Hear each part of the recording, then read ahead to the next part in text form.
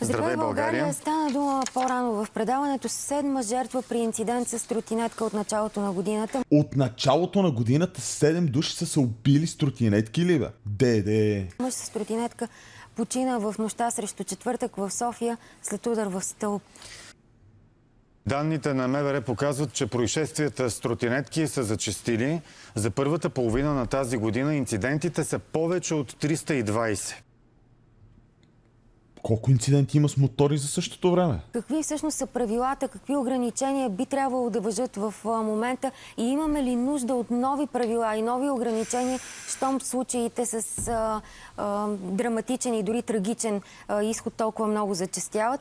От... Притеснявам се, че тъй като това не се урегулира, хората карат пияни и другирани тротинетки. Моят ортодонт казва, че случаите за щупени челюсти и стави на челюстите са основно с тия тротинетки. Ужас. Отговорите търси Ева Костова, така че и казваме добро утро. Еве, добро Това гемето ли? Това е гемето. Утро.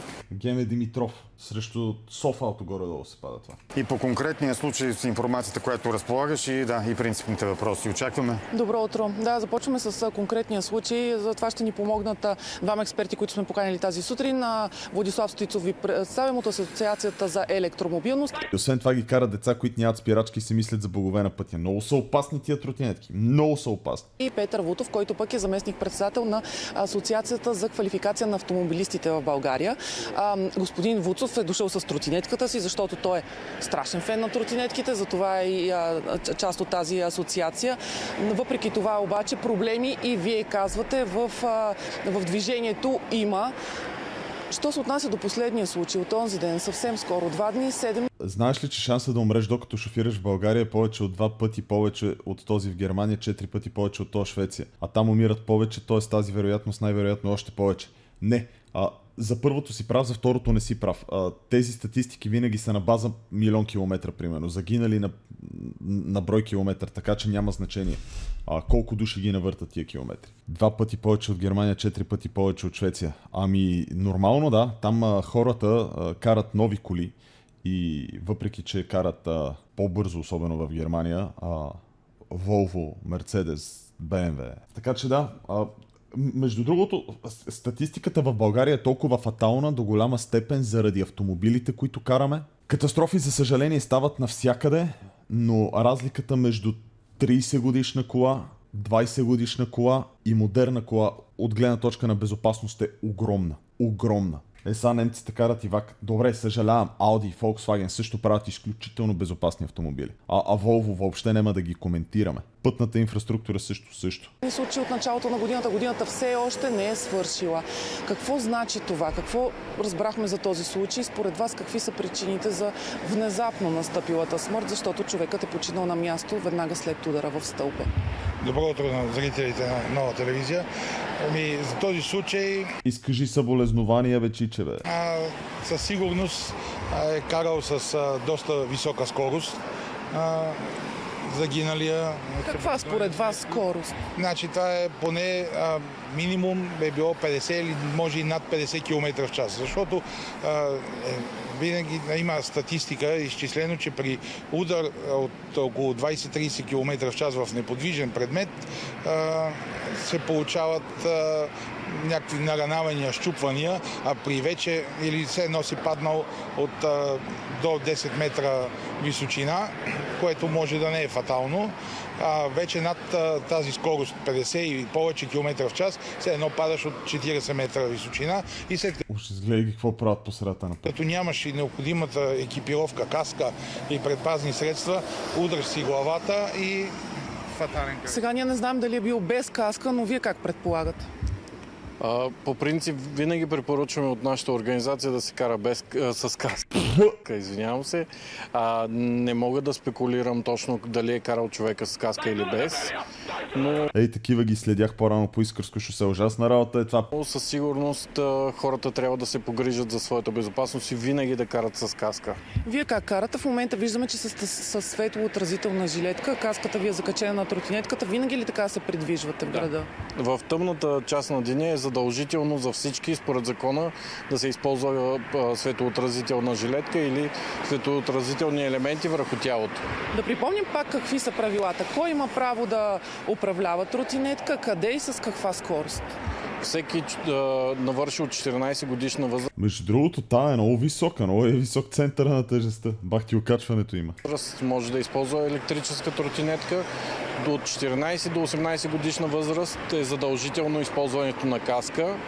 Над тази възраст е препоръчително силно, защото тя спасява животи. Може да се кара винаги само до, на пътища до 50 км в час с скорост на тротинетката до 25 км в час. Къде могат да се движат, господин Вутов, всички, които желаят да се придвижват с тротинетка? Ми, С тротинетките трябва да се използва мрежата, която е за велосипедите. А, не, нямат право да се движат а, директно на платното, ако няма а, такава специално изградена алея или а, по тротуарите. Това записано ли е в закона за движение по пътищата? Има ли го в закона за движението по пътищата, чат? като не трябва да пречат на а, хората, Вече да, добре. които се придвижат на пешеходците. А, Извинявам се само да кажа. А, Не е точно така. Значи, може да се движат само по пътища до 50 км в час, най-вдясно на пътната лента или където има велосипедна инфраструктура. Добре, правилата горе-долу звучат логични. Въпреки това обаче статистиката, която чухме в началото е стряскаща. Броят на смъртните случаи, броят на инцидентите, в които а, участва и човек с, а, с тротинетка. Защо това се случва? Достатъчни ли са правилата в тях ли е проблема или в контрола? А, контрола навсякъде всичко за- заляга първо, на първо място контрола. Няма контрол, всеки се движи без да е оборудван с необходимо. Добре, бе, тя е една хубава тротинетка струва по- повече от хубав скутер. Не, излагах. Хубава тротинетка струва повече от скутер, защото просто не карат папаките, бе, човек. Защо? Защо не, не карат папаките? Дано е доста по-практична. Има по 10к дигат 110. Ужас, човек. Имите средства, е, светоотразителна жилетка, каска е, и другото, което То си перка копале. Полиграфията го боли. според нас е, че би трябвало желаящите да използват а, такива индивидуални електрически средства за придвижване, тротинетки, елек- електровелосипеди, би трябвало да преминават някакъв минимален а, срок на курс на обучение, да се запознаят с основните правила, защото на 14-15 години не ги знаят а, и тогава да се включват Значи, когато аз започнах да карам колело, аз карах велосипед, активно се придвижвах с велосипед в София, доста преди да навърша 18 години. И абсолютно бях наясно с правилата. С, с знаците, с пътната маркировка, с сигнализацията. И ми беше казано, че ако не съм наясно, няма да карам. движението. Вие как мислите? Ами да кажем, че все пак ние като организация преди няколко месеца извадихме статистика от статистиката на МВР, един анализ на статистиката на МВР и все още електрическите тротинетки все пак остават най-сигурният начин за предвижване в градски условия. Електрическите тротинетки А, това е на Петко Каравелов чай. Чак сега се ориентирах къде се случва това. Това е на Петко Каравелов на Т-образното кръстоище. С бяла черква. Тротинетки все пак остават най-сигурният начин за предвижване в градски условия. Той е най-безопасният, най-економически изгодният за всеки от нас. Все пак, за да ги няма тези инциденти, къде се крие проблема? В правилата или в контрола? Най-вече в културата на поведение на всички от нас на пътя. Независимо какъв Ташакът е, че в, в България тези тротинетки са сезонен транспорт, защото зимата не стават. Гърците, особено по Южна Гърция, където не вали сняг, се придвижват целогодишно с папакита. Защото там е много скъпо да имаш кола, много по-ефтино е да имаш мотор и си перкат по цяла година с мотора. Обаче в България това е непрактично. начин на предвижване използваме, дали сме пешеходи Запознат ли си с пътната регулация с регулировчик? Естествено, че съм запознат. Ти какво ми каза? На нас още в, в първи или във втори клас, си спомням ясно, в началното училище, ни преподаваха пътна а, сигнализация с регулировчик. дали сме с тротинетка, дали сме с велосипед. Всеки трябва да, да спазва закона и да, да се погрижи за своята безопасност и на всички около себе си. Тоест, съгласен сте с господин Вутов, че едно обучение не би било излишно.